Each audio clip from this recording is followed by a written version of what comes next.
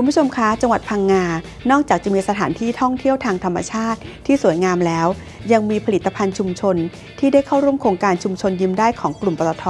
ที่น่าสนใจด้วยค่ะ เพราะถ้าใครได้มีโอกาสแวะมาที่วิสาหกิจชุมชน กลุ่มแม่บ้านเกษตร บ้านโคกไคร จังหวัดพังงา ไม่ควรพลาดที่จะซื้อกะปิกุ้งเคย เครื่องแกงต่างๆ เป็นสินค้าโอท็อปไว้ติดบ้าน รับรองความอร่อยจากกลุ่มแม่บ้านเกษตรกรบ้านโคกไคร ที่รวมตัวกันจัดตั้งกลุ่มแม่บ้านเกษตรบ้านโคกไครมากว่า 22 ปี สร้างงานสร้างอาชีพเพิ่มเติมจากการทำประมง โดยโครงการชุมชนยิ้มได้ของกลุ่มปตท ได้ช่วยส่งเสริมเรื่องบรรจุภัณฑ์เพิ่มช่องทางการจำหน่ายออนไลน์ ส่งผลให้สินค้าเป็นที่รู้จักช่วยให้ชุมชนยิ้มได้อย่างยั่งยั่งยืน สนใจสนับสนุนผลิตภัณฑ์ต่างๆ สามารถเข้าไปได้ที่ www. ชุมชนยิ้มได้ .com หรือ Facebook ชุมชนยิ้มได้โดยกลุ่มปตทค่ะ